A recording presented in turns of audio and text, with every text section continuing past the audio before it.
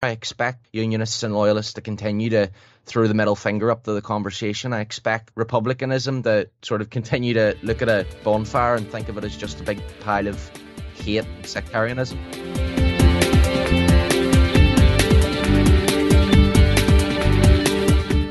This is Here's How, Ireland's political, social, and current affairs podcast, presented by William Campbell. Thank you for downloading episode 142 for the 1st of September 2022. I discovered a big discrepancy. Well, I didn't so much discover it as notice it, and it isn't really a big discrepancy, it's an enormous discrepancy. A gigantic discrepancy, a sort of so big you could see it from space discrepancy. This is the discrepancy. Have a look at daft.ie any day. On the front page, you can choose to browse by selection and go to rental properties. No filters, look at the whole country, any type of residence. Much has been made of this. These days, you'll normally get less than 800 properties for rent in the whole country. Of course, some properties that go up for rent don't go on daft. They're rented by word of mouth or via social media contacts or a postcard in the window of the local shop. But Daft on their website say that 90% of property sales in Ireland are on their site. So it's a good guess that Daft have the bulk of rentals there and movements up and down in their number of listings match the market pretty closely. Now go to the census results there were 166,000 vacant properties on census night this year. There have been various attempts to poo-poo this figure, but I've spoken to the CSO and they are very confident in their figure. One reason is because their enumerators visit the property several times before and after census night if they don't get in touch with any residents. They talk to neighbours and they ask if anybody lives there and when somebody lived there last. Also, enumerators lose pay if a house on their patch doesn't return a census form, so they're highly motivated to get it right. And we have a breakdown of what sort of houses are vacant. 23,000 are vacant because they're undergoing renovation. 27,000 are vacant because the last occupant died. And 35,000 are vacant because they're available to rent. 35,000. Let that figure sink in for a minute. 35,000 homes were vacant, awaiting a tenant, on census night this year. Compare that to less than 800 being listed on Daft. The figures don't overlap, by the way. They were marked down as one category, renovation, occupant deceased, or for let. Some may fit into two categories, but they were put in one category or the other, not both. So which figure is right? Are there 800 properties to rent in the country or 35,000? You don't have to spend long in a pub on a Friday night or on social media to hear stories of the incredible difficulties that home seekers are experiencing, to know that the 800 figure is the one that's far closer to the truth. And the market doesn't lie. Rents have been shooting up by more than 12% per year.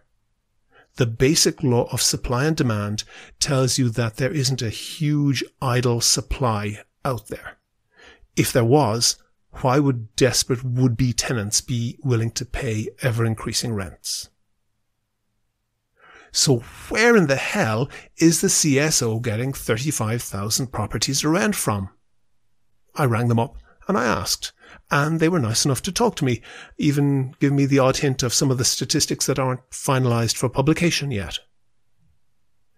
The first thing is that of all those vacant properties, about 30% of them were recorded as vacant in the 2016 census too. So, barring the occasional coincidence, we can conclude that they've been vacant for six years or more. Think of that. 50,000 homes vacant continuously for the past six years or more while people are emigrating because they can't get somewhere to live. People with jobs, people with good jobs taking the boat because they can't get a house, not even to rent. This has led to a lot of abuses in the rental market and, unsurprisingly, a lot of legislation to curb those abuses and demands for even more legislation. But why would people who own houses, 35,000 houses, previously rented out, not rent them out again when they could do it in a heartbeat? I think I know why. They don't need the money and they don't need the hassle. Property prices are shooting up. These 35,000, they're not houses. They're made of bricks and mortar. They have windows and doors, rooms and a roof, but they aren't houses. They are bank accounts. And they are bank accounts that pay a hundred times more interest than putting the money on deposit in the Bank of Ireland. The owners don't need the extra cash they would get from rent, and they view the ever increasing regulations as making renting them out more trouble than it's worth. There's good reason to believe that well-intentioned laws to protect tenants are contributing to keeping properties off the market. Now, many of these regulations are absolutely required, but they are a two-edged sword. For a major corporate landlord, they're no bother, but for the accidental landlord, someone who inherits a house, someone who bought a second house for whatever reason, it's a hassle that they don't need.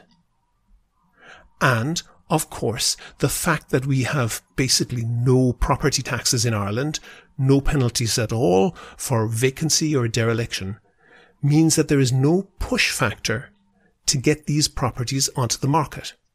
So regulation isn't the only issue here, not by a mile. But we have an excruciating housing crisis in Ireland, and only a lunatic would imagine that can be resolved without bringing vastly more housing on stream. The right houses in the right places, both new build and existing vacant properties. Trying to fix the housing crisis with more regulation, quite likely, is making the situation worse. No regulations will solve the problem without hugely more appropriate supply and if we have hugely more appropriate supply, most of the new regulations won't be needed anyway. Supply is the solution to focus on. In a moment, we'll have that interview with Joel Keys. But first, I want to say thanks to all of the patrons on Patreon. I really appreciate everyone who donates on Patreon. We don't get a huge amount of money out of it, not nearly in the same league as some other Irish podcasters, but it pays for web hosting and other costs of the podcast. And Kevin and myself basically donate our time for free. And it's also a great morale booster. When we get a new patron, it lets us know that there are people out there who listen and appreciate the podcast. We make a big effort to cover things that are undercovered in Irish media, and you're more than welcome to listen for free.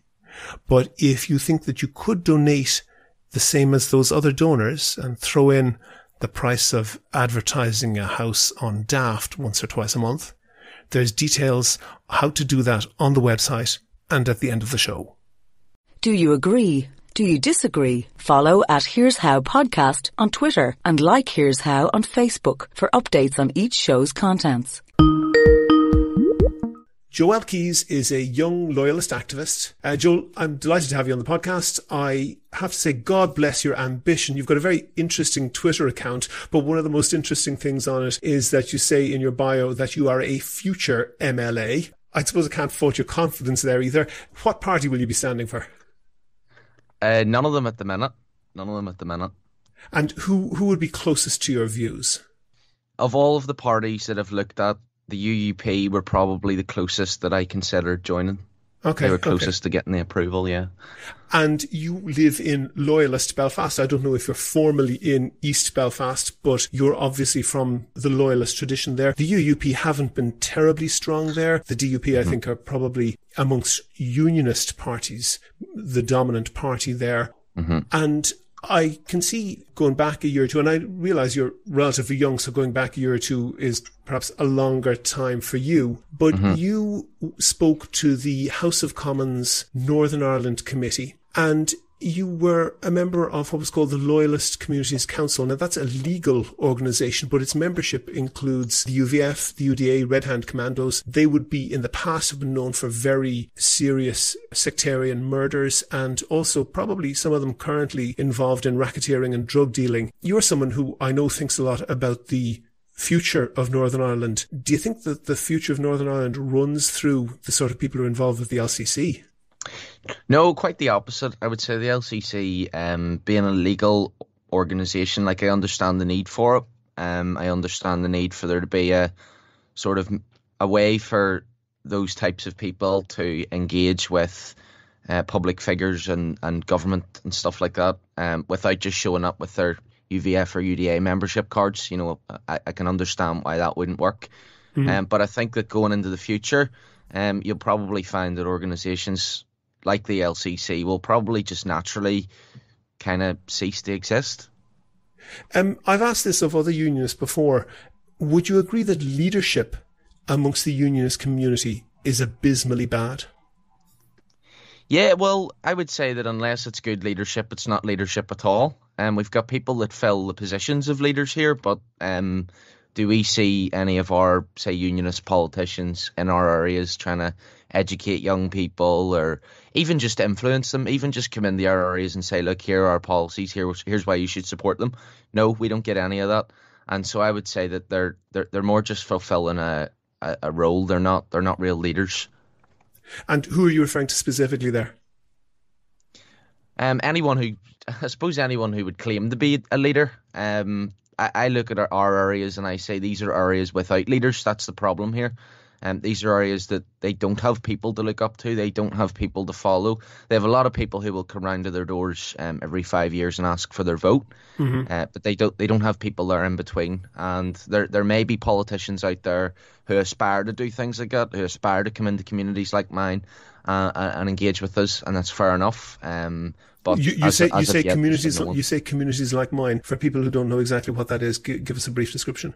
Yeah, so I, I, I live in Taughmonagh, um, but mm. it's by far from the only one like it. Um, I'm a loyalist area, uh, be described as working class. Um, a lot of people from these areas would be affected by poverty and drug and alcohol abuse, and there's mm. a hmm. lot of issues. Um, yeah, just your sort of iconic uh, working class council estates, I suppose. Mm-hmm. And when you spoke to the Northern Ireland Affairs Committee of the House of Commons, over the internet as it was in COVID times. You said one thing that really struck a lot of people. It says, it worries me that we could potentially reach a point in this country or in any country where the people do feel they need to defend themselves. And you're referring specifically to violence there from context. What on earth is there that loyalists would need to return to violence to defend themselves from? Uh, nothing as of yet not nothing as of yet. And I think um, that was the, the the point that a lot of people missed in in the affairs committee remarks. You know, if you go back and you watch it, there was plenty of times where I was very clear. You know, we have not reached a point yet where we we have that claim, we have that justification. We are not defending ourselves. Um, what could happen? There, there's a million things that could happen. Um, I think, for example, here's one that you'll probably agree with. Mm-hmm. Um, you know, Boris Johnson and his buddies, they've been passing some really concerning laws uh, in Parliament recently. You mean these ones that, that restrict uh, freedom of demonstrations? Pretty much, yeah. Um, and it's not the only one. I think I'd read of a couple more uh, that they can break up. Is it they can break up picket lines or something now? Uh, there's restrictions on on uh, on striking workers, picketing against perhaps agency workers who might be brought in to break a strike. But I want I want to get a, a, clearer answer on this because if you're yeah. talking about violence to defend yourself and you say that you're not at that point yet, that's clearly an implication that you fear at least that there has been some movement in that direction, even if you haven't reached that point. What would that be? I, I don't feel that we have moved um, in that direction in any significant way at all. Um, I think that we've come a long way since the Troubles. Mm-hmm. And if anything, I th- I'd say we're going the other way, which is why it's, it's so confusing to me why the, there's so many people out there that wants a return to violence. It's like, even if that were sort of something that we were going to entertain, we would have to be moving at a certain trajectory and um, for me to get on board with that. And we're, we're going in the complete um, opposite trajectory. There are some people with concerns that things like the Northern Ireland Protocol and there's other pieces of legislation that have been passed, things like the Irish Language Act, that they mm-hmm. harm our place in the union. Mm-hmm. Um, I would agree with the protocol. I would agree with opposing the protocol, but not so much with those other things that other people would would say causes fear within them that, that our place within the union's being attacked. Okay, specifically, I was going to get onto it, but since you've brought it up, I'll, I'll talk about it now. The no- Northern Ireland Protocol. It is something that in opinion polls is clearly supported by a majority of the people of Northern Ireland. MLAs who support the Northern Ireland protocol in the recent assembly elections were voted in in a majority. That's to say, a majority of the very recently elected MLAs supported, and parties supporting the protocol got a clear majority of the votes. If there's any justification for the existence of unionism in Northern Ireland, it is that it constitutes a majority, or at least that was the justification that was given for close to a century. You can't then turn around and say, well, a majority support this, but we don't like it, therefore we have to overrule them. I think from from the unionist perspective, what the sort of argument would be is that yes, there may be a majority support, but we do have mechanisms in place for the, for exactly those kind of things. Mm-hmm. So you can totally have a situation where there's a minority support for something, or in fact a minority opposition to something, and because within that minority the support or opposition is so widespread that we, you know, we have that principle. It's the petition of concern. That's how mm-hmm. they can block legislation that one group of the community doesn't like. With but, but that's legislation in the assembly, which is not which is, where the Northern Ireland Protocol was passed. Uh, absolutely, the protocol is definitely um, a lot more. It's a bit more of a complicated um, area than just your average piece of legislation, mm-hmm. and I will, I will totally, totally uh, agree with that. You know, I don't think that there's just this simple answer sitting there that everyone should just accept to please loyalists. What the way I kind of look at the whole protocol situation is.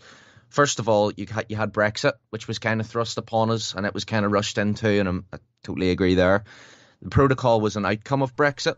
Mm-hmm. Um, now, do I think that loyalism should have a, a, you know a veto on something like the protocol? Probably not.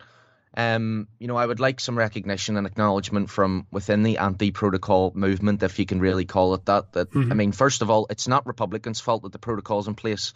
Um, Republicanism is not who our uh, beef is with, I suppose is the word.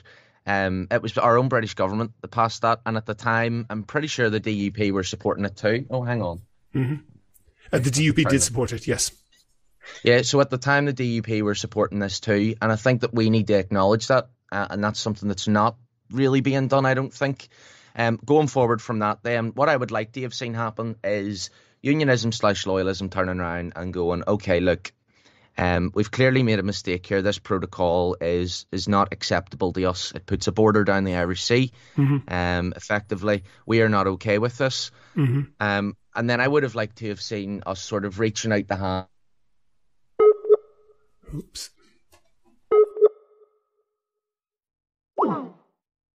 And that's where the line died. And then I got a text message from Joel, and he said that he'd had a power cut because the meter had run out of credit and that he was pressing the emergency pound button and getting the lights on the computer started up again. And then we got back on Skype and tried to restart the conversation. Hit record there again. Um, we were on the protocol, uh, and um, you had said that Republicans were not responsible for the protocol. Do you have that train of thought to continue with? Yes, I think it was just explaining that what I would have liked to have seen is unionism wakes up and we realise that the protocol was a mistake. Um, the DUP then it shouldn't have had to come from the community. The DUP um, should have already been in there in the community getting opinions, so they should have already got the feedback that the protocol didn't have a whole lot of support and then people had serious issues with it. And then at that point, um, mm-hmm. what you do is once you realise that you've made this mistake, Um, first of all, you have to appreciate that it was your mistake uh, and your mistake alone. Mm-hmm. Um, yes, there's others to blame, but realistically, you know, the buck kind of stops with, with our with our leaders, and our leaders are people like the DUP. Mm-hmm. Um, so then once you go in with that kind of attitude going in, then it's not a, not an objective of all right, we need to now riot and do this and do that and blame the others, and we don't need to start a war. We're we're not trying to defeat anybody. What we're looking for is to approach people like SDLP, Sinn Féin Alliance, you know, explain the situation. You say, look, we represent the, the loyalist, unionist people of the, of the country, and um, we've heard from the feeling on the ground that people don't support this. We want to try and make things right. And, you know, ideally what you would have seen is everyone coming together to work out a, a solution that doesn't um, piss off everyone pretty much.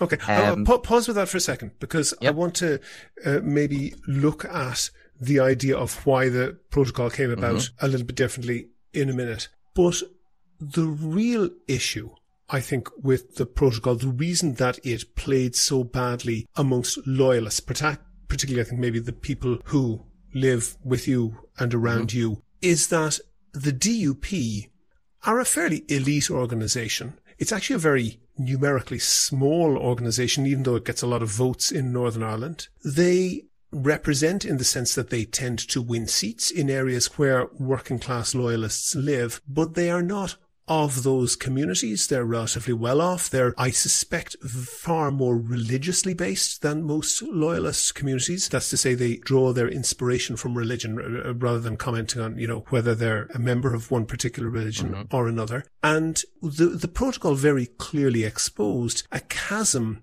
between Yeah, the DUP so. and its voter base. That would be uh, true. and I mean, it? the feeling on the ground isn't, you know, people don't give the DUP all those votes and then go and start celebrating about the DUP. It's very reluctant.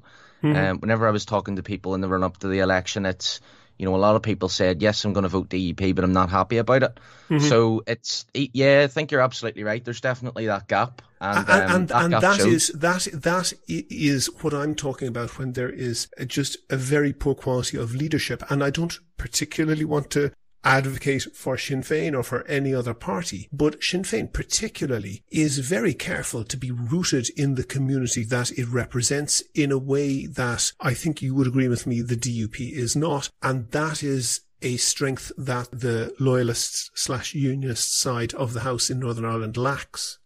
hmm Yeah, no, I think that's that's simply right. I, I Okay. don't think there's anything else I can add that.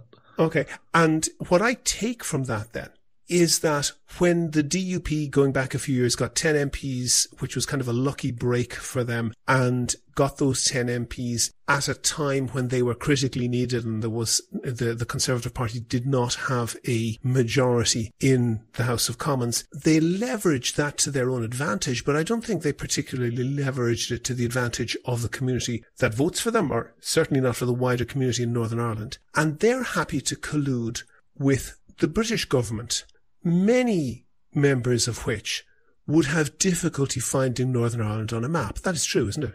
Yeah, And and we're we're we're in danger of agreeing too much here, Joel. But the, the um, it, what, what I'm leading to is, and I'm looking, and we're recording this. Uh, we normally keep interviews in the can for a while just to allow ourselves in the podcast to organise it. But what I'm looking at in the last week or so was the death of David Trimble. And if you went onto the BBC website, you'd have to click into BBC News and then you'd have to click through into Northern Ireland News and you might see an article about the death of David Trimble. That was a banner headline on RTE, on the RTE website. The, you go straight to RTE.ie and they had literally cleared the decks and put uh, photographs and articles about David Trimble right across their whole website.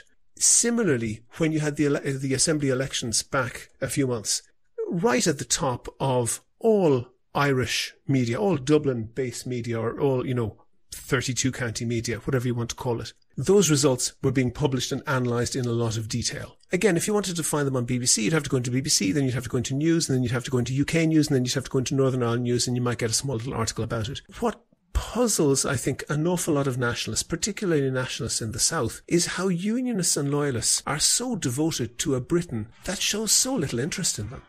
Hmm Yeah, the um, I've heard this a lot. Is the the rest of the UK don't really care about you. Um, and it's valid. You know, there's been a lot of English people on Twitter and, and elsewhere, you know, who who have openly admitted we don't really care what happens with Northern Ireland. Um, on the flip side of that, there's there's plenty of people with with deeper links, friendship links, and, and family links, and you know those people seem to care a wee bit more. I think like everything, you've got people on both sides.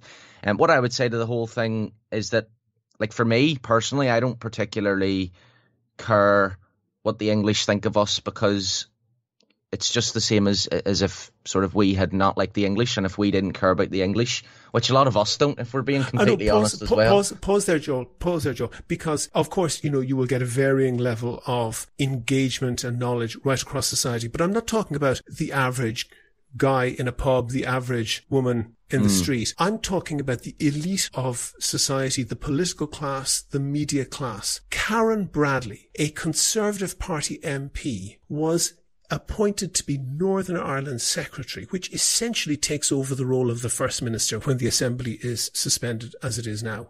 She wasn't aware that unionists vote only for unionist parties and nationalists vote only for nationalist parties and that people almost never cross those lines. That is a stunning level of ignorance, isn't it? Absolutely. Absolutely. And I think that's probably why, you know, I don't know if you've heard, but I have before said that what I would like the, the Northern Ireland situation to look like is something where we're still economically tied to the United Kingdom. We still get mm-hmm. to take advantage of its defence capabilities, etc. But mm-hmm. that we do have a lot more freedom to kind of run our own affairs for that exact reason. England do not care about us. Um, the political class in England don't really seem to care about us. And, you know, I, I trust Northern Ireland to care about itself. I'm saying rather than trying to convince these English and convince these politicians to care about us, just let us do our own thing um, loosen the grip a little bit. Um, I'm still British. I still identify as British. I want to mm-hmm. be a, a, member of the United Kingdom and a British citizen. But you know, I, I totally take your point, and I think it um, it's why that we we should have more kind of um, autonomy over our own affairs here, so that we don't have to consult the English on everything, um, and they can act more as sort of passive supervisors, um, rather than um, gatekeepers, I suppose. Mm-hmm. Isn't the problem with that though that unionists in particular view the sectarian divide in Northern Ireland as a zero sum game. There's no explanation for the opposition to the Irish Language Act other than saying if them uns are getting something, it must be us losing something. Mm-hmm. What possible Irish... rationale is there for that? I'm I'm not hundred percent sure. Um, going back till whenever I was 16, I did an interview with Susan McKay, and she'd asked about the Irish Language Act, and even going back to then, I struggled to mm-hmm. um, find a reason to oppose it. Um, more than that, there were a few concerns that I had, things like cost.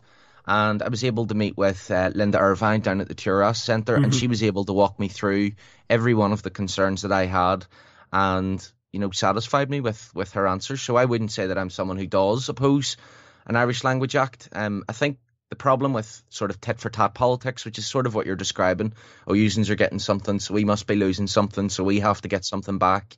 Um, that's kind of part of the problem here. I think everything needs to start being approached from a much more relaxed. I don't know if relaxed is the word, but I, I feel like it might be. Um, mm-hmm. Attitude. You know, everything isn't part of this massive game of chess, sort of between Republicans and Unionists. Just because someone loses a piece or someone gains a piece, it, it's we're not enemies what we're doing is trying to take all of that and put it all on the table so that we know what each other's opinions and, and gripes and desires and hesitations are.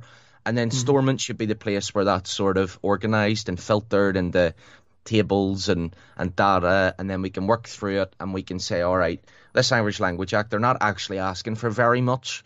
Um, and so we're not going to oppose it. Maybe we don't get anything from it. Maybe it looks like the Irish speakers are getting something, but that doesn't matter um, because that's what Stormont is for. It's to take the concerns of these people who speak this language. From my understanding, is all these people really want is to be able to be recognised and live um, as if they were first Irish speakers. Um, and I, I don't know why unionism is so hesitant to that. Now, I've heard that there's a concern that it's sort of like a Trojan horse, so mm-hmm. it's just being pushed just to sort of weaken our position in, in the United Kingdom. Personally, I don't buy that. Um, I don't see how it weakens and, and our position. What, what do you think? What do you, what do you think of, for example, unionist-controlled councils taking legal action for allegedly breach of planning laws when somebody bolts up an ad hoc Irish language street sign to the side of their own house. Oh, is that what's happening? That, that has happened on occasion. It's just sad. Like I just kind of hear it, and it, it, it reminds me of whenever I was in high school and there was people arguing over something stupid, and you just kind of sit back and you, you, you watch it happen, and you know what? Like it, it's it's clearly a it's one of them arguments that I don't want to get muddy over. Um, for me, if you live in a house, it's your right to put whatever the hell you want on the house, as long as it isn't uh, a big sign calling for for you to go out and commit crimes or something. Um, so to me, I would describe it as quite stupid if councils are, are, are using their time to go after people who put up Irish signs on their own house. Oh, okay, okay. One one thing I just want to kind of give you, going back a hundred years, which in some cases might seem like a very long time, in some cases it might not. But the Northern Irish Parliament was established in 1921. It was abolished in 1973 at the, at the start of the Troubles that essentially collapsed. And there were general elections at regular intervals while it existed. In every single one of those elections, never did the total unionist parties fail to get less than two thirds of the vote. Every single time they got more than two thirds of the vote from the first to the last election. In the most recent assembly election, even if you throw in the PUP and you throw in there's a couple of a couple of independents who would be identified as unionists, even if you throw in all of those votes, the TUV, the lot, the unionist vote comes out at 43%. The direction of travel there is pretty clear. And there have been some surveys, they mostly show that there is still a larger number of people in favour of the Union than in favour of joining mm-hmm. the Republic. But that's a pretty thin margin and you don't need to wind that clock too far into the future to see that that is not a stable situation. And in fact, it is demographically possible to do it because you can see that uh, if you look at the distribution of unionists in different age cohorts. The only age cohort where unionists have a significant majority are the over 65s.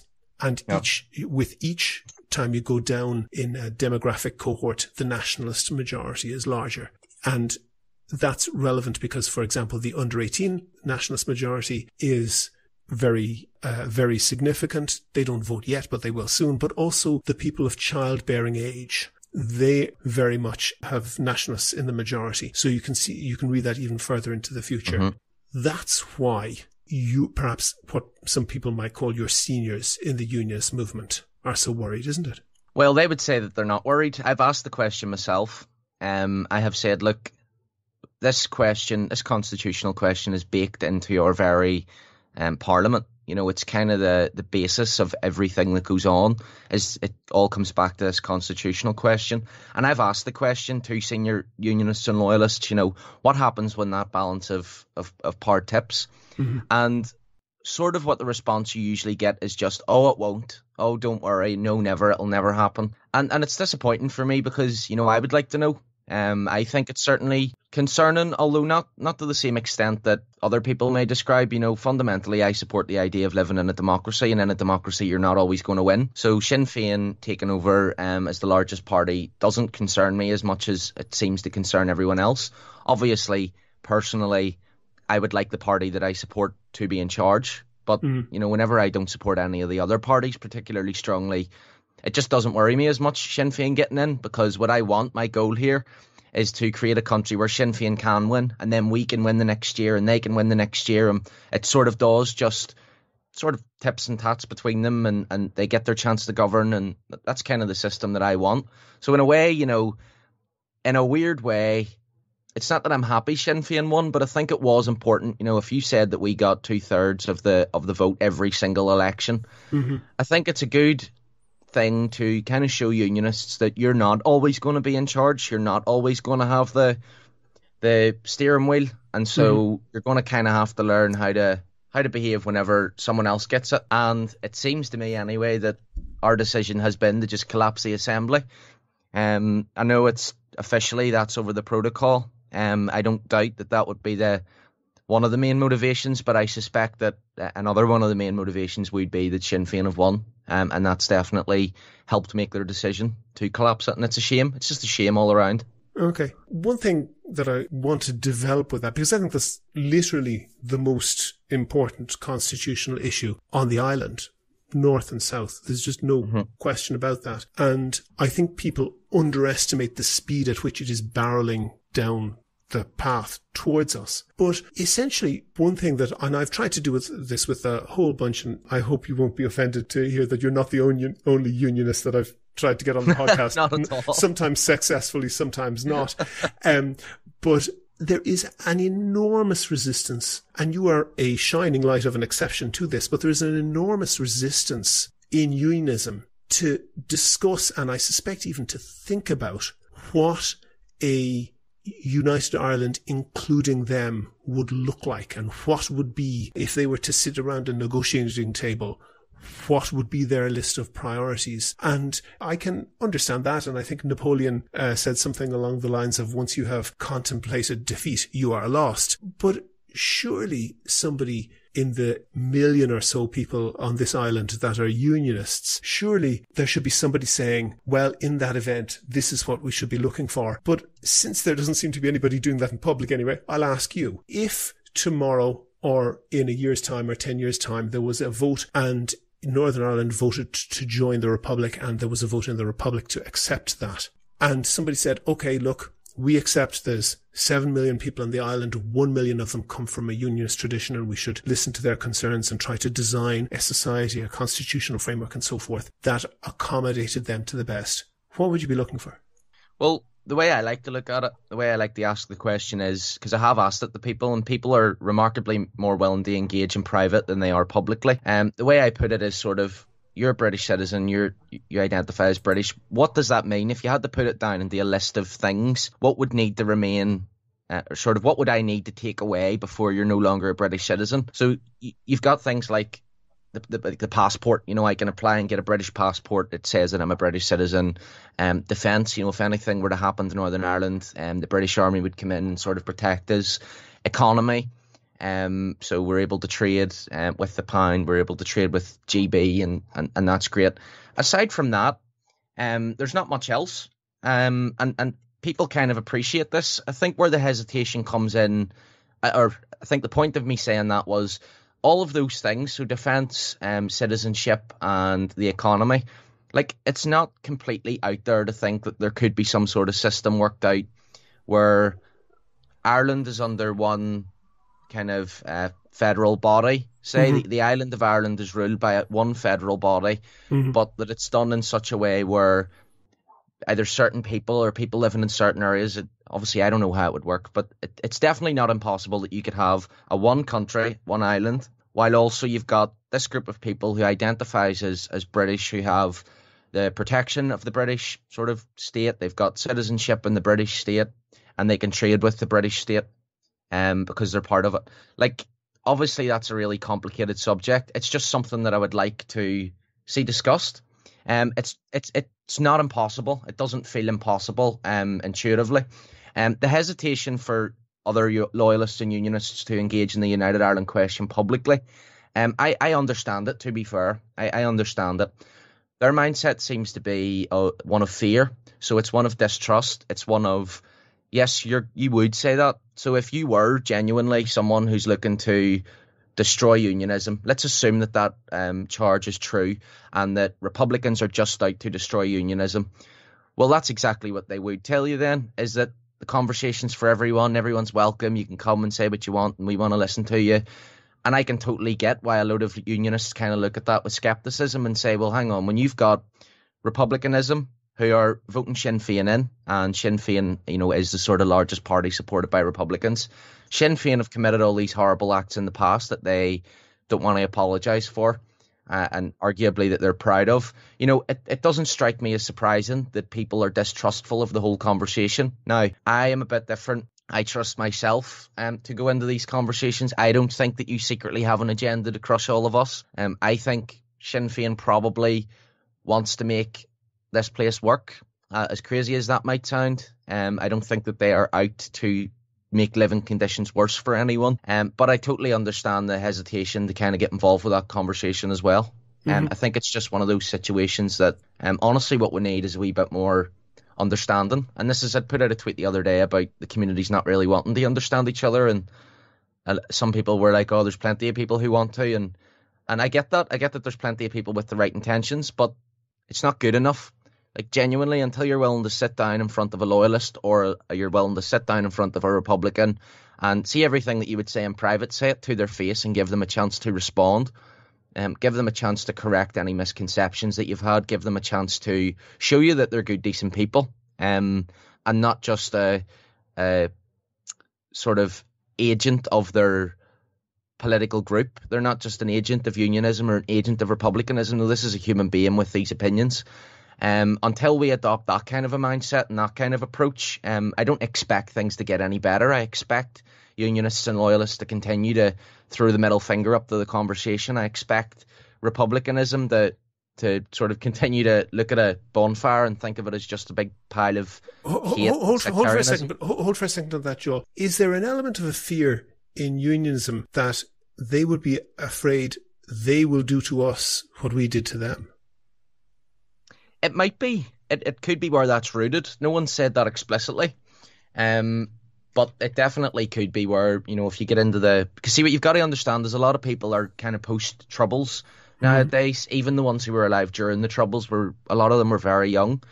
Um, so a lot of them were school kids and, and, and etc. A lot of my family were, were in school. You know, they tell me stories of having to walk home because the school bus had a bomb threat, etc.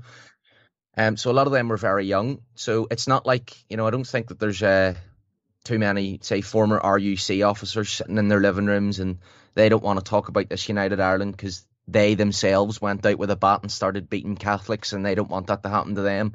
You know I don't think that that's the case, but it could be where those um where those fears and mistrusts are rooted. You know it could be uh we know where we were, we know where we are, we know what you know, if if we were to engage with the United Ireland debate, obviously republicanism would have, um, and rightly so, a lot of influence over what that United Ireland might look like. Mm-hmm. Um, maybe there is that fear of, oh, would, would it be designed in a way that would discriminate against us in the same way that we discriminated against the others back then. Let, let, me throw a couple of things past you. In the past, Eamon Cuív, who is the grandson of the founder of Fianna Fáil and, and uh, founding father of the Republic, Eamon Cuív has suggested that Ireland would join the Commonwealth, the British Commonwealth, as was. Jim O'Callaghan, who is touted as a future leader of Fianna Fáil, has suggested that in a United Ireland, the Seanad, the upper house, should sit in Stormont, in Bel- uh, Stormont outside Belfast, and the Dáil sit in Dublin as a symbol of inclusiveness. Do any of those ideas cut any ice uh, on the on the streets of East Belfast? I mean, they certainly do for me. What that tells me is that people are, are, are serious about sort of the conversation and that it's not a case of they've got an idea of what they want and they're coming to just work out a way to get us to accept it. Mm-hmm. You know, those those comments kind of say that there really is a willingness from some parties to talk and genuinely ask, well, what is it that would convince you? What can we give, etc. However, I have to say that probably is just for me. Um, I've never heard anyone else talk about those kind of things. Um, I'd imagine the response wouldn't be too friendly if I did ask people's opinion, and I will. But um, that's a shame, and that's the kind of thing that we're going to have to work on. Because personally, I think that that's at least a very first start. Okay, as as you mentioned, you live in a working class loyalist area. What sort of people vote for the Alliance Party? Um, I don't know if I know anyone that votes for the Alliance Party. they they got more than one eighth of the votes in the recent election, and an awful lot of votes in Belfast. When you say that, I actually I believe you. I think you might be correct. But my impression is that there is a chunk of the population which maybe not exclusively but largely comes from families from areas from people who would normally or previously have been expected to be unionists and they are younger than average and they have just no interest in the sectarian divide. I suspect they're probably significantly more middle class than average, that they are engaged in issues like climate change, in debates like equal marriage and abortion rights, mm-hmm. and that those things are just way up there in their consciousness and in their concerns much more than the union. And that is part of the demographic explanation for the decline in unionist parties that perhaps not in working class areas, but in, although perhaps to a degree, but in other areas, they are not so much, you know, it's not a demographic shift, it's an ideological shift. You're losing a chunk of the demographic unionism mm-hmm. is. W- would you think that's a good analysis? Yeah, it probably is. I mean, although I say I don't know anyone that's voted for Alliance um, personally, I know there's there probably would be quite a lot of. I, think women as well is the other thing. You know, a lot of young girls. Um, well, I say young girls. You know, girls in their late teenage years of voting age. Um, I think they go alliance too. Um, I don't run about with those. I don't run about with a, a load of teenage girls, so it's uh, that's probably why I don't know so many people that's voted for them. But yeah, they definitely do have support from those demographics that you were saying. Mm-hmm. Usually younger, um, more liberal more open minded. Um, their focus is just elsewhere, other than you know they're not sitting there in their rooms thinking about how the Union flag got taken down from City Hall. They're sitting in their mm-hmm. rooms mm-hmm. thinking about how we can make sure that um, discrimination against say gay people is isn't going to happen anymore, or even women, I suppose. you, um, you, actually you actually came exactly on, onto what I was going to mention. I've got it in my notes here. The flags, flags, uh, shall we say, controversy that was mm-hmm. very intense a few years back. There is a chunk of the population that is enormously turned off by that. They don't give a flying fig what fa- flag flies over Belfast City Hall. What they care about are the type of issues that I mentioned. And it is entirely possible that you've got not a small number of people whose parents, maybe now elderly, are loyal DUP voters, who they are perhaps ever more loyal alliance voters. And when somebody somebody like Kellie Armstrong comes on and says, "Well, yeah, I'm from a unionist background." But I'm looking at all this Brexit nonsense in the UK and the, the social progress that has been made in the Republic. And I'm tending more towards being in the Republic would be more advantageous for Northern Ireland. That's a big shift, isn't it? Definitely. And it's been sort of, uh, I think that movement has been helped by people like Boris and the laws that he's. I mean, even now, I, even me, someone who's a, I would say I'm a pretty firm loyalist, or I would say I'm a firm unionist, um, soft loyalist, but we'll not get into that. Mm-hmm. Um, Boris Johnson and what I was saying that he was doing earlier about the um, laws against sort of demonstrating and breaking up, like that genuinely worries me. To me, the kind of laws that the British government have been passing are they, they really worry me about the future because it's I'm going like if if Boris Johnson was a was a tyrant, um, he's not going to pass all the laws that he needs to to play with to play his game. You know, he's not going to do it. What they're going to do is pass all these laws now, let him take the blame for him, so that everyone forgets that these laws exist, and then someone two or three, two or three sort of positions down the line. So maybe not the next prime minister, maybe not the one after that, but the one after that I mean, that could be a real bad egg for us, and it could seriously threaten our security and our safety and our democratic values and our freedom, genuinely. Mm-hmm. And so, even now, I am looking at the Republic and I'm looking at the United Ireland question, and even if it isn't a case of, well, I think that this is better for us now, it, it's it's certainly not as clear cut. Whenever I was whenever I was young, it was very much the UK is better for us and always will be. Mm-hmm. Now it's it's certainly not the case. Um, now I am considering different options. Um, still a unionist, still want to be part of the United Kingdom for now. But I think anyone who looks at what Boris and his and his boys have been doing lately and doesn't worry about Boris has resigned. You're aware of that? Yeah, but has he really? Well, is my question. I, I, doubt if he will he will last much longer, and I very much expect Liz Truss will win in about a month's time. But I want to. He's still going to be there in the in the corridors of power. Is my point. You know, they all pick each other. They all come from the same high schools. They're all friends. They're mm-hmm. all going to put each other in the government positions. It, it's not like Boris resigning means he's resigning out of politics and he's going to go write a book and make a couple million or something.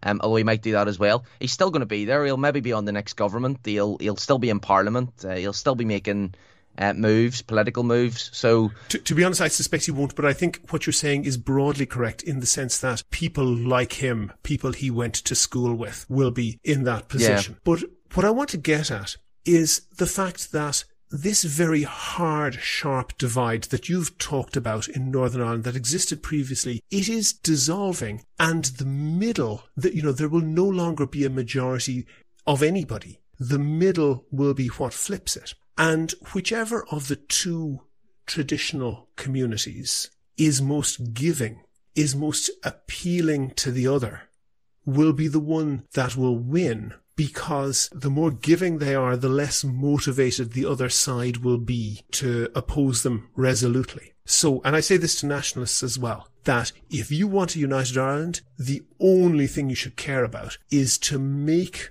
the Republic now and the putative Northern Ireland as welcoming and as beneficial to unionists as possible. And for unionists, what if you want to maintain the union, what you need to do is to demotivate nationalism by making Northern Ireland so good for them that they would think it isn't even worth the bother. And it strikes me that not always, but mostly the nationalists are winning that game.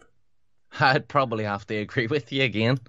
Um, where they're not helped is when things, you know, like the videos of the people singing IRA chants. Now, to me, they're a bit mm-hmm. of a gimmick. Mm-hmm. They're a bit of a. I mean, that's that's one incident. I, I don't know. I just I'm not as invested in those incidents as other people seem to be. Yeah. But yeah, I would say that's that would be unionism's response. Oh, what about this group of kids who were singing RA songs at this event. Mm-hmm. Um, but Although, yeah, overall, put that in contrast, and nationalist because because there will be a nationalist answer to that, which I want you to react to. That that's a few people, probably several jars in, singing admittedly pretty vile songs, and there's no shortage of uh, footage online of the same thing happening uh, yeah. at unionist events. But also the bonfires that you can pretty much see from space, which have fire engines attending and the fire engines are needed to hose down the nearby houses because the heat from the bonfires is so intense that it threatens mm-hmm. to set them ablaze and the fire brigade are under orders to hose down the houses and not to put out the fire. And on those fires, very frequently, you have explicit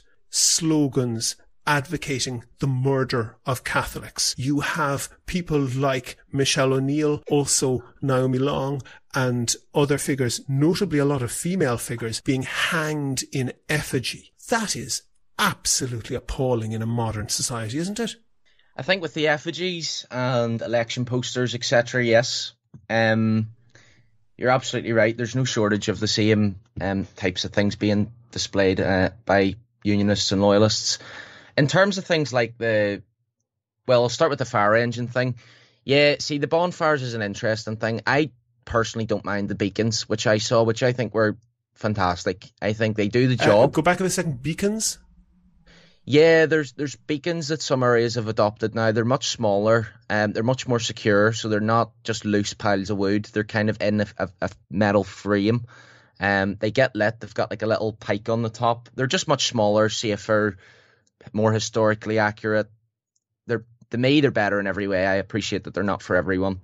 Um, the other two things that I would like to talk about is the is the slogans and the flag burnings. Mm-hmm. Um, personally, I don't care if you want to burn a flag. You want to burn my Union Jack as a as a political statement. You, I, am not going to have an issue with it. You do it. Um, when people have tricolours on bonfires, I look at it as a political statement. Um, mm-hmm. and I think that nationalism's right to complain about it. They should complain about it. Um, I don't like. I, I asked a few people that I was at the bonfire with and not one of them even noticed that there was a tricolour on the one we were watching, which is why I find it difficult what, what to. What does KAT stand for? Kill all Taigs. Taigs being Catholics. Yep. Th- that that would, in many countries and quite possibly in Northern Ireland, if it wasn't in a very heightened context that it is, that would attract a criminal charge. Mm-hmm. That's outrageous, isn't it? I wouldn't like them. Um, I would condemn them. I would say I know I've never wrote KAT on the side of a wall. Uh-huh. Um, the difficulty for me is like I know a couple of the people who who would write things like that. Mm-hmm. Um, I think it's wrong, and like I would say to them, you know, what the hell are you do? Like I would I would agree with you that it is completely wrong. I'm not defending it at all. Um, but I think to diagnose it as this person's actually calling for the murder of all Taigs, um, I just I just don't think it's accurate. And I fully appreciate that from your point of view, it's, it's, it's hard. To, it's hard to construe any other meaning on it. Yeah, and and, and it's hard because I'm not trying to defend it, and I don't want to defend it. Mm-hmm. Um, what I'm doing is I'm saying I've I've heard this from I've heard from Republicans. I've heard the this is wrong. People are calling for the, for the slaughtering of Catholics and, and, and such. And then I'm looking at the people writing this stuff. I'm talking to them about it. I'm I'm listening to why they're doing it mm-hmm. and there's just a mismatch there. So the Catholics are right to look at that and and sort of feel threatened. Um, the police I'm, I'm actually not so interested. To, to be honest, Joel, I, I think well, clearly I am interested, and, and clearly there is an issue there about how Catholics react to that. But what I'm much more thinking about is a section of the loyalist stroke unionist community, younger, mm-hmm. That section that I described probably turning to be alliance voters who are turned yeah. off by this big time and who mm-hmm. are campaigning on other issues and will show up at maybe meetings, maybe demonstrations or whatever on whatever topic. Marriage equality, abortion rights, climate change, and a host of other topics that are kind of fairly typical of younger politics these days. They're not attra- attached to a specific political party, but the people involved are very attached to those. And they show up at these and they are likely to meet nationalists and Republicans, often Sinn Féin members, often SDLP members. That isn't a smart strategy, quite apart from the offence being caused just within unionism. That's not a smart strategy, is it? No, no, I would say um, anyone who does write things like that on walls or, or, or hang up things. Even the flags, even though I'm not as immediately opposed to the burning of flags, I still don't think tricolour should be on bonfires. Um, but yeah, I think you're right. It's a self-destructive um, way to go about things. It's only going to harm mm-hmm. us. Yeah, which and, is why we should stop. Yes, and you will not be old enough to remember, but I'm sure you have heard tell of the unbelievable behavior against schoolgirls. And when I say schoolgirls, I mean like five to 12 year olds at Holy Cross School in Belfast. And with the very strange geography that you'll be familiar with in Belfast, the, the walk to school for those Catholic schoolgirls, which was at an all Catholic school, brought them down a road, perhaps not exactly through a Protestant area, but down a road that formed the border of a Protestant area. The Protestants, or many of them in that area, took great exception to this, and there was an intense and incredibly bitter protest against that, where on many occasions there were hundreds of police trying to defend schoolgirls and their parents, bringing them to school. This gained appalling coverage, TV coverage for the unionist cause really across the world. And in fairness to the many unionist politicians disavowed this. The leader of the Conservative Party at the time showed up on the basis of saying that he wanted to see the facts on the ground and was so disgusted with what was happening. He, uh, the leader of the Conservative Party from London, insisted on walking with the schoolgirls. One of those girls now grown up graduated and there was a photograph shown, uh, shared on Twitter of her graduating and intending to become a teacher on a loyalist bonfire, quite obviously drawn from that photograph that was shared on Twitter, was an effigy of that young woman. That is shocking behaviour, isn't it? I would say it's it's a step further than shocking. I would say it's kind of it's pretty evil. Sounds pretty evil to me. Sounds pretty corrupted. Mm-hmm. Um, yeah, that's that's really sad to hear. Okay, and, and, but how? And and I want to use a we here, and it's not a royal we. We as people of Ireland, north or south, how do we deal with that? Well, it, that took quite a few people to do, and it took a lot more people to not say, "What in the name of God are you doing?" Get that down. Yeah, that that is a shame. Um, I'm I'm sort of trying to think it through. See, the problem with um, was this on a bonfire?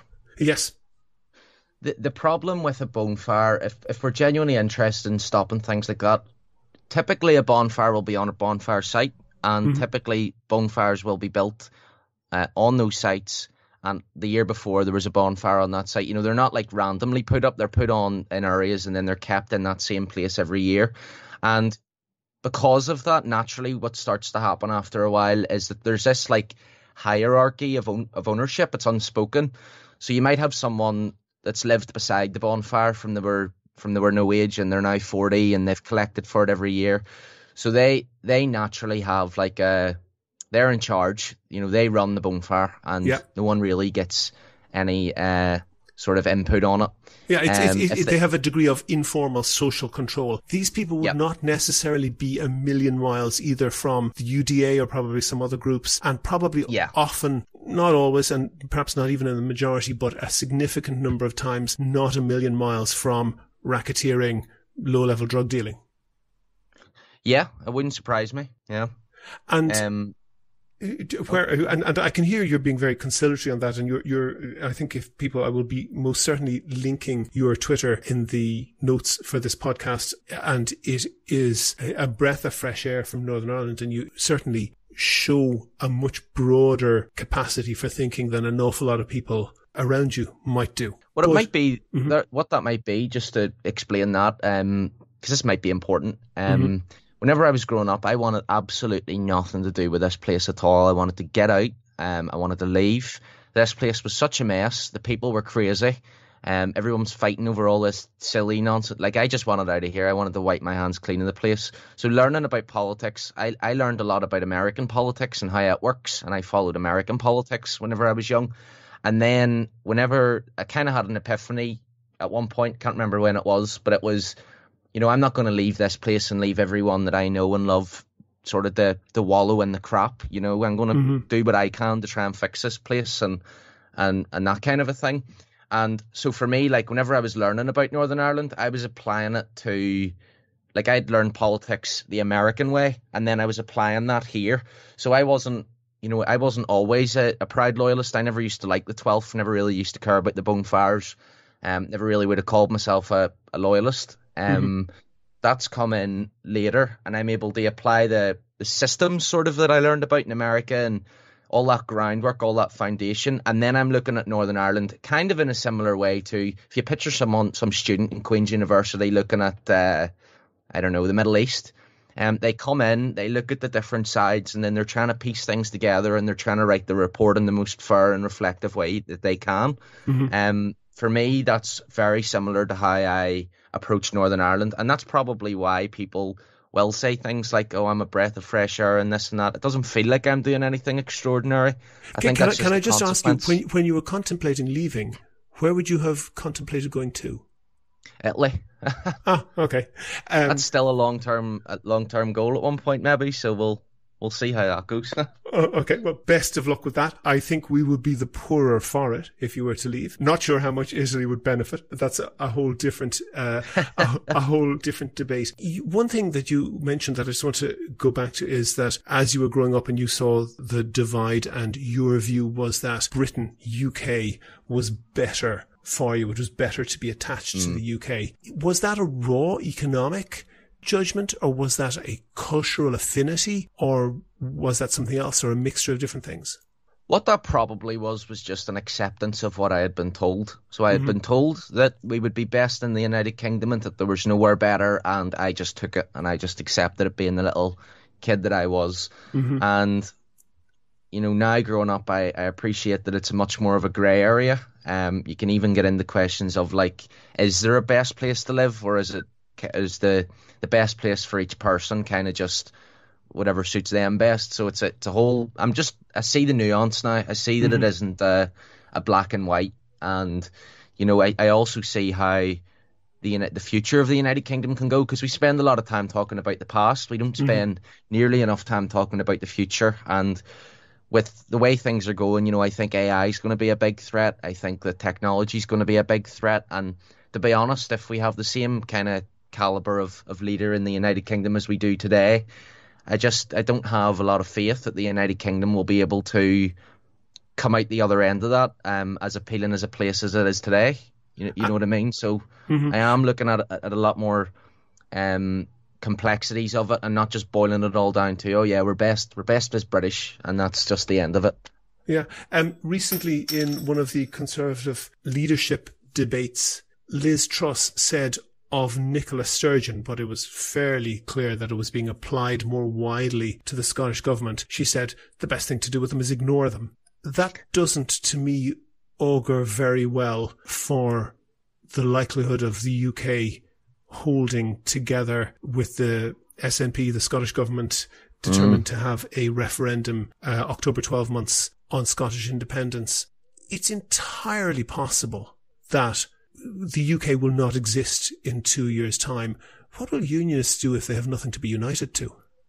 Well, exactly. This this is I I'm screaming at people just to start having conversations about the future. If you don't want to have those conversations with the Republicans, then don't. But then we need to at least start having our own internal conversations because mm-hmm. what's going to happen is at some point, and say Scotland even survives this. Well, what happens when there's another one in another twenty years? Um, or what happens when England kind of gets carried away and thinks I, I, I think you might, I think, I think you might find an awful lot of people in Scotland would attribute surviving something to uh, to the other out- outcome. they, they, sorry, what? I think you might find an awful lot of people in Scotland would uh, think surviving this would mean becoming independent. Right. Well, that's an, I suppose you would if you were if you were in that system and you were looking to leave. Um, Mhm. Yeah, that makes sense. Um, and that's there's a possibility too if you think about it. You know, Scotland leaves. You've got what a million unionists here. Who's to say all million of them actually are loyal to? You know, there's probably a handful of them that are loyal to Scotland mainly. You know, they've got family in Scotland, they work in Scotland, they've travelled to and from Scotland, um, and that's why they're unionists. So. Yeah. Even all those people, um, our unionist bloc kind of starts to shrink if Scotland goes independent, which is a, a whole other side of it too. So it definitely is a very complex uh, situation, and to to not talk about the possibilities for our future is it's just political suicide because we can ignore it, we can kick the can down the road all we want, but at some point we're going to have to confront it, and we want to do that sooner rather than later to increase the the chances of a good outcome for for everyone involved. Okay. I want to end with what I think might be a completely irrelevant point. I'll tell you why it's irrelevant perhaps in a moment. But I was reading David McWilliams, a noted economist who has connections to the North as well as the South. In his book, most recently, he pointed out that just three counties, Antrim, Down and Armagh, at the time of partition, just those three counties accounted for 70% of the GDP of the island of Ireland. So when Northern Ireland was created, its economy, not per person, just in absolute terms, its economy mm-hmm. was more than three times larger than the economy of the, re- what became the Republic. Now, thanks to Wikipedia, I can see in GDP terms, the economy of the Republic is more than eight and a half times bigger than the economy of the North. Again, all in absolute terms, no, no per capita or anything, just in absolute terms. So at a minimum, in the last century, the economy of the Republic has grown 25 times faster than the economy of the North. That's unsustainable in terms of, in terms of an economic gradient that people wouldn't want to, wouldn't want to get on the other side of, isn't it? Yeah, well, whenever whenever I was younger, I remember very clearly. Um, that was one of the big arguments against Ireland was how poor its economy was doing. Mhm. Um, we don't want anything to do with that, and even the fact that that argument doesn't really get um, used as much anymore Mhm. um, says a lot. Um, but I think it just kind of all that does for me, all that does is speaks to the volatility of everything. So nothing's nothing's forever. Um, if Ireland has a better economy today, or if it had a worse economy today, it doesn't mean that it's going to be the same tomorrow. But If, across uh, a century, across a century, averaged across a century, 25 fold is just mind blowing. A 25 fold difference that the Republic has on average grown 25 times faster. Yeah, I mean, I, I congratulate them. I'm happy for them. Um, as someone who has never, like, it's, I don't feel that my unionist position has ever relied too heavily on um, our economy. So it doesn't, it doesn't rock, it doesn't make my identity rock or anything too much. Um, I think that that's the point. Um, yes, I think I think it is, will and you, change. you've you've got to the point why I said that it was probably irrelevant because this isn't. Although it may have been dressed up as that, this was never really an economic concern for working class unionists, loyalists. It was a cultural divide always. That is true, isn't it? Yeah, I would probably agree with you. I would probably agree with you. That's one of the things I noticed um, when it, whenever I was younger, whenever you were talking about a United Ireland and say someone was the, or even the Irish Language Act, because this demonstrates the same point and it's much more recent. So whenever I went to Linda and I had said, you know, here's my concern about the Ervine. price. This is Linda Ervine, yeah. Um, so I'd said, here's my concern is the price. Um, do enough people speak it to justify the cost? And she was able to kind of walk me through the, the models that she had in mind and how it wouldn't end up um, costing us a whole lot. Um, but then I was able to actually change my position then on an Irish Language Act.